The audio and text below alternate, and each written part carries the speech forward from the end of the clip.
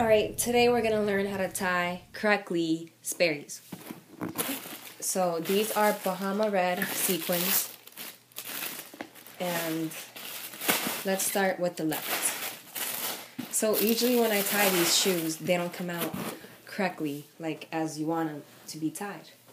So I'm to teach you guys how to correctly tie the shoe. Alright, so here is the left one. So first you're to see that there's the right side, the inside, and then the left side, the out part. So you're to do the same thing you always do to every shoe. First step. And then this is the part you need to listen to. You're to get a small ear for the inside part, and then you're to get a big ear for the out part.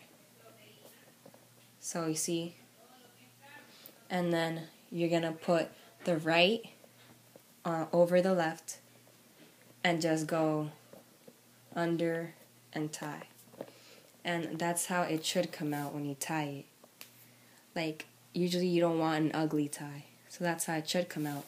And let's say if I were to tie it how you normally tie any shoe, then it'd come out Let me just tie like however. If I were to do two big ears, then it'd come out not as you want them to come out. See how they don't come out as pretty? So that's why you need to tie it my way. Alright, and let me just quickly explain how you tie the right one. So the right one is basically the same thing. The only difference is when you're tying the right one, you're gonna get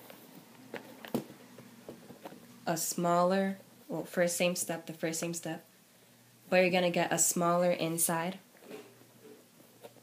and then a bigger ear on the outside. And you put, you always put the inside one over and tie. Alright, so then remember that when you're doing the left, you're always gonna get the inside shoelace inside.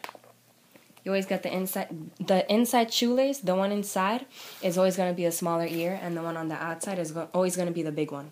Same thing with the right shoe, always the one that's in the inside is to be a smaller ear and the one on the outside a bigger ear. And you just, you know, tie it and then go under and tie it. So that's basically how you tie Sperry's.